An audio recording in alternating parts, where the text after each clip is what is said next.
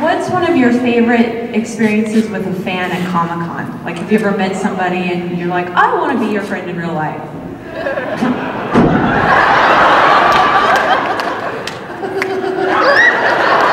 Yeah. Well, yeah. It's probably not what you want to hear, but um, yeah, it was a Marine yesterday.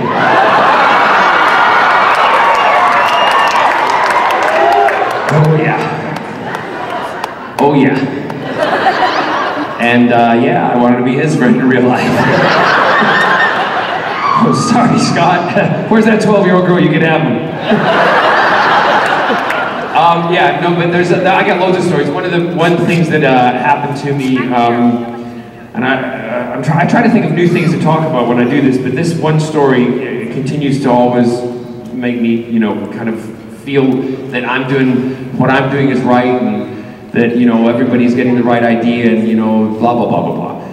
This father came up to the table with his son, and uh, he had just we were doing it was myself and some other Torchwood people and a couple of Doctor Who people and they came up and he walked up to the table and they said, um, he said, do you want Captain Jack's autograph? And the kid turned and he went, yes, Dad, of course I do, because, you know, he might like boys, but he is so cool. I thought, you know what, kid, you're getting that for free. Get over here.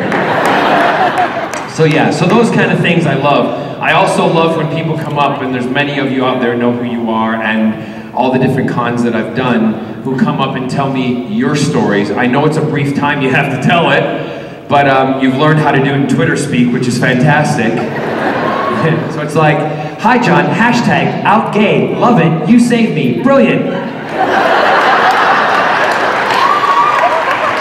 So, and, and, you know, I, I, enjoy hearing those kind of things because it's uh, great to see that people identify with sci-fi because that's what sci-fi does best. We touch on subjects that other shows are just starting now to touch on, you know, because they've been afraid to for so many years, but we in the sci-fi world, everybody knows that no one can pull the wool over a nerd's eyes.